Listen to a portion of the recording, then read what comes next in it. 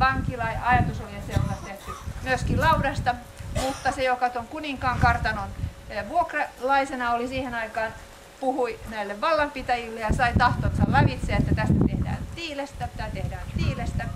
Ja yhtenä syynä oli ehkä siihen hänen kaunopuheisuutensa se, että hänellä oli oma tiilitehdas. Eh, nyt kesti muutama vuosi, kun täällä oli sitten ensimmäisen kerran korjauksia. Täällä tuli näitä kosteusvahinkoja. Ne hometalot ei ole mitenkään uusi keksintö.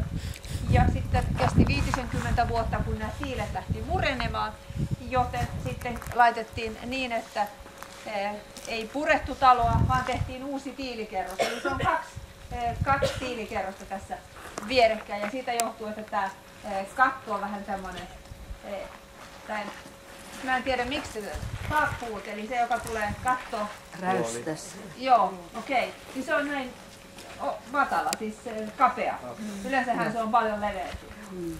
Ja myöskin sitten siinä oli tämmöisiä eh, ikkunat, tällainen sisäänpäin menevät ikkunat, eli kapeat tämmöiset paksut seinät, se ei ollut myöskään mitenkään tavanomaista täällä, täällä näillä leveysasteilla. Eh, se ei myöskään tämä rakennus ollut alun perin näin, näin, tota, näin suuri, vaan tuohon portaiseen asti, niin tuo pohjoisen osa, niin se on laajennustyö.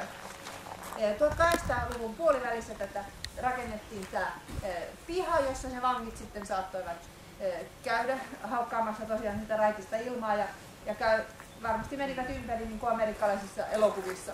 Sitten myöskin rakennettiin tämä nyt ei ollut tämä uudestaan rakennettu, mutta tällainen puinen vastaava rakennus, jossa he saivat sitten peseytyä. Siellä oli myöskin sitten panimo ja sitten säilytystiloja. Niitä vankeja kuljetettiin, ne kuljetettiin sellaisessa vankikopissa. Tätä käytettiin tosiaan vankilana lähes 200 vuotta. 70-luvulla täältä oli kaikki vangit pois Tämä ei ollut vankila siinä tavanomaisessa merkityksessä, vaan tämä oli tutkintavankila. Eli täällä sitten odotettiin sitä, odotettiin ensin, että käräjät, käräjät kokoontuvat, ja sen jälkeen kun oli saanut rangaistuksen, niin sen jälkeen odotettiin täällä, kunnes se rangaistus sitten saatetaan voimaan.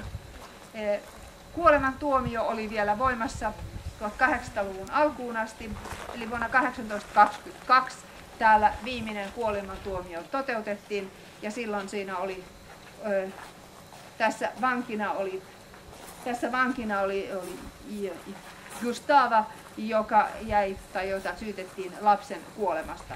Hän oli saanut avioittamaan lapsen, joka sitten kuoli, kuoli muutaman viikon kuluttua ja sitten tutkimuksessa selvisi, tai tutkimuksessa saatiin selville, oli se totta tai ei, että lapsi oli myrkytetty.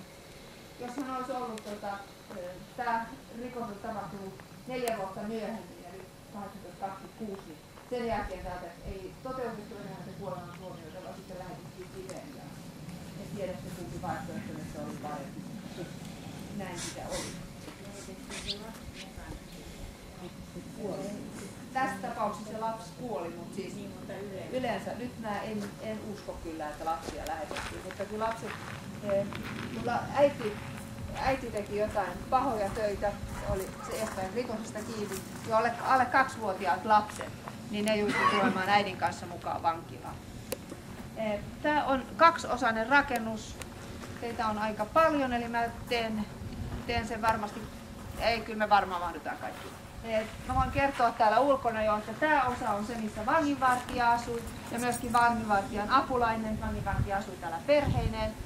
Ja se oli tietenkin ympärivuotista, ympärivuorokautista työtä, koska niitähän piti koko ajan vahtia näitä vankkeja. Ja vangit olivat sitten täällä pohjoisessa osassa. Aloitetaan niistä vankikopeista. No ei varmaan. Se on, sillä on ja kaulassa.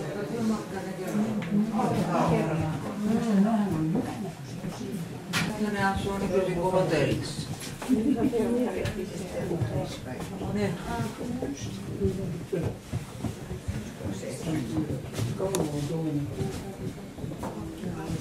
Tämä alun perin rakennettu vankilaksi. Nythän näin luihua vankia ei ole, joka tota kautta olisi päässyt karkuun. Eli parrut on ihan lähekkäin. Tuolla vanginvartijan puolella siellä on se normaali, normaali väli noiden parrujen välillä.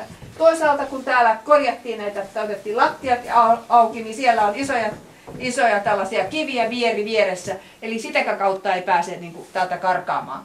Eli kun akuankassa niin lusikalla kaivataan, niin se ei kyllä täällä onnistunut, eli täällä ne oli vankeudessa. Nyt nämä eri vankikopit eh, kuvaa sitä, miten, minkälaista näissä vankikopeissa oli aina 50 vuoden, 50 vuoden välein. Toi viimeinen, jos lähdetään sieltä, 9